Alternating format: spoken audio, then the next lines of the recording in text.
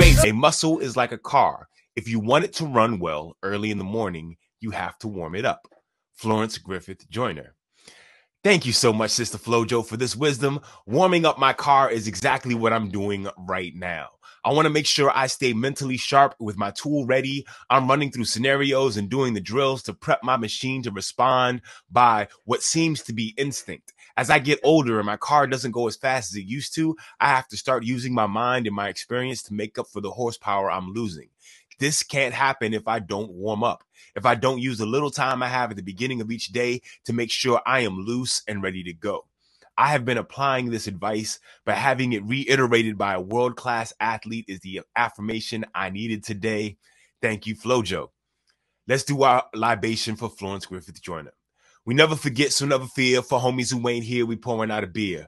Because of you, it'll never be the same. We keep saying your name while we pour champagne. For the